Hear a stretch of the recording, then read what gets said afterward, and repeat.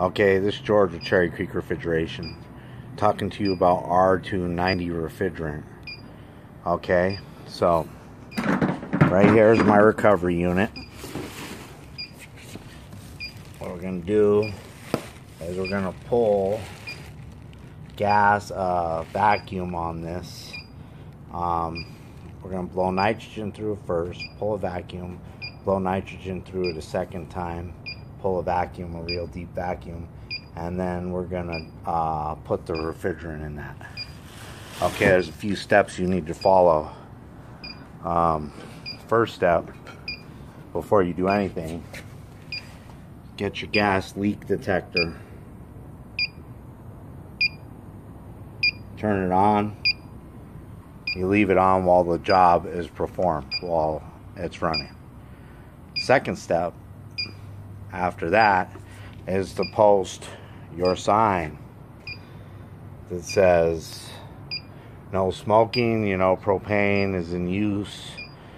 Um, third step is to identify the, the system, find out where it has leaked from or what the problem is.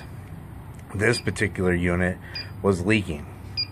And so you're going to see in here, you got your red stems that they have to be put back on after you uh, do the system. After you finish the system so that somebody can identify it.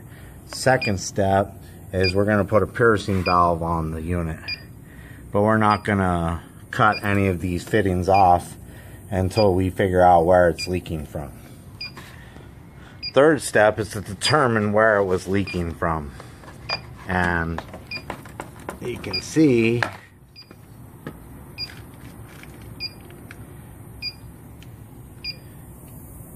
right there. Right there. See? And so I went through the rest of the system to make sure that there was no other leaks. I checked the inside evaporator. I checked the condensing units. I found them in the condensing units, usually this third elbow down here. I found them in the dryers before. Um, I also found it on the other factory pinch off up on top. But you can really see, and that's on the suction line, so you should replace the compressor. The filter dryer always gets replaced when you open the system. Um, I'm gonna have more videos. I'm gonna put part one, part two, how many ever parts it takes. But I'm sure you don't want to watch the whole entire thing. So hopefully you can find some more of my videos online. This is how to do R290 refrigeration. Okay, this is part two of the video on R290. Okay, so you can see I got the other compressor out. Um, you cut the lines. You make sure you cut them. Um, see, they're all cut off. The dryer's cut off. Down at this end, it's cut off. They've really made the copper uh, too short. You know, look at that. They cut that. And I cut that as close as I could. Um, but anyway, we're going to talk about electrical. Um, with the R290, there should be no electric that's free. So with these little clips right here, these little clips right here, you get something nice and small, like my Allen wrench, and you push the old fittings out. Then they got these little barbs on them. Don't know how well you're going to be able to see them. But you got to open these barbs up a little bit. And then you're going to push them back into place. Um, that way you got no open electrical fitting. There's special wire nuts that need to go with them. I don't have one up here with me because I don't need it because I was able to push the fittings out. But they have little clamps and you clip them over and you clip them back. You can't use the standard wire nut where you wire it together. So that's the electrical portion of this. I will post another one. See you soon. All right, this is part three on R290 refrigeration. Um, okay, so now our next step is before we weld anything, we're going to want to make sure that we clear um, these lines of any residual R290 refrigeration. So we're going to do is we're going to blow with our nitrogen through the system. So I'll do the condenser first. Nudge it. There's oil coming out, see it? Going to want to make sure we clear that condenser completely out of all that oil that's in there. See, we still got oil coming out.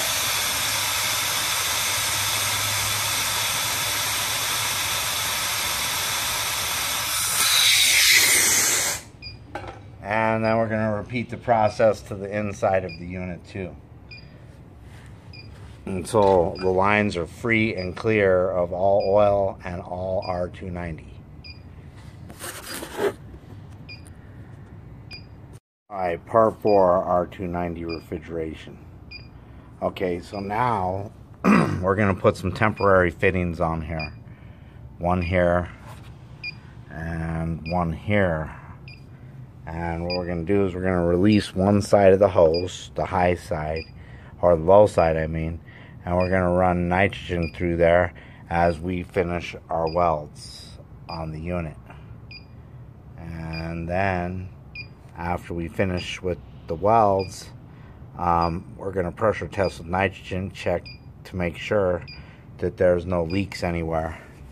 And then once we do that, we'll pull a vacuum so I'll see you guys in a little bit after I finish welding and pull a vacuum. Okay, so now we've done the nitrogen test. We've let it sit for a while.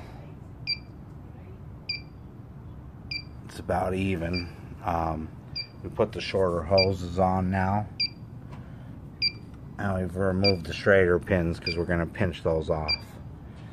Um, we've also put the clamps on for the testo.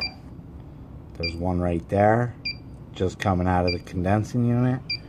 And then, I don't know if you can see this next one in there. Just right there, just before it goes into the compressor. So we're gonna pull vacuum now. We're gonna use a micron gauge and we're gonna get down at least into the 500s and then we'll charge it. Okay, so now on the vacuum, what we're going to do is we're going to pull a good vacuum on this unit. We're going to at least want 500 microns. And you can see, I don't know if you guys can see that or not. Let's see if I can light that up for you. I'm not sure if you can see that. Maybe the sun's got it see if I can turn it around here. So we're at 300 microns. So that's well beyond what the factory asked for. They asked for 500. So now we got our vacuum pulled. Um, next step is to charge it. See you in a minute.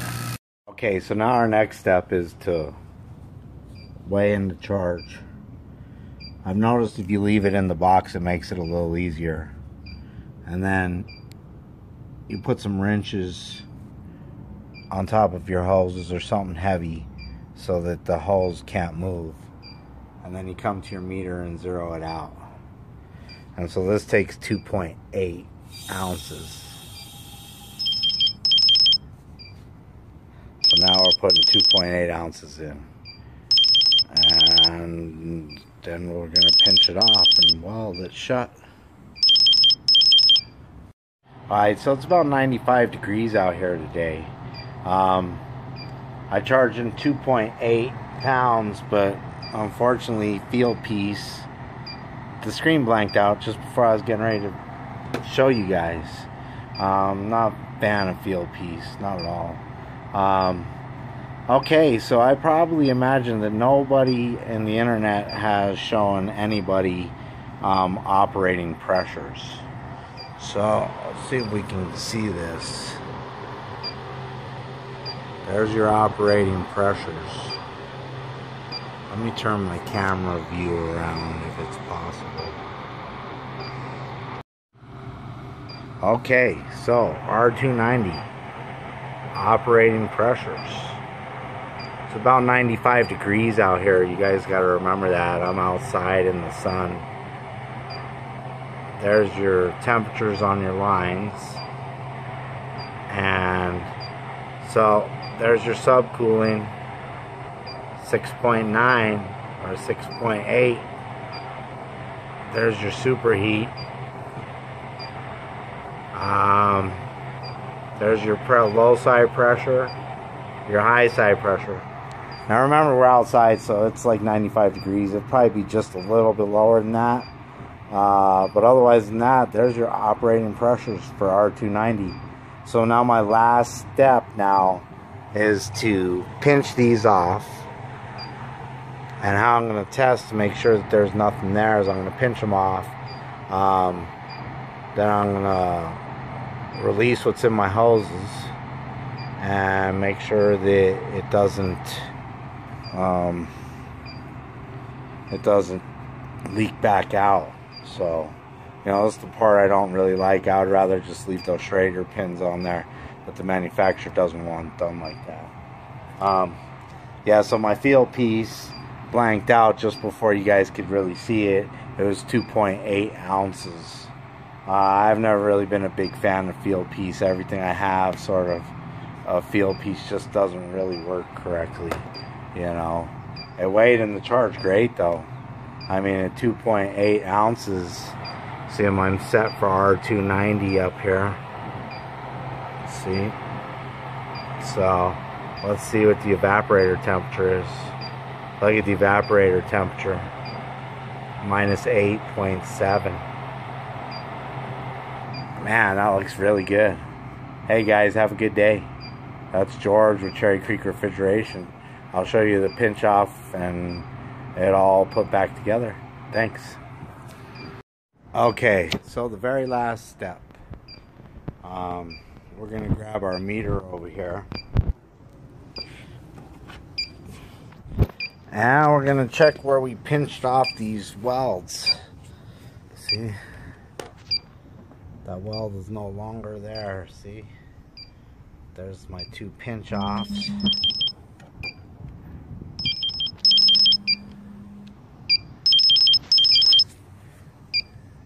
Nothing. Okay. Now check this next one.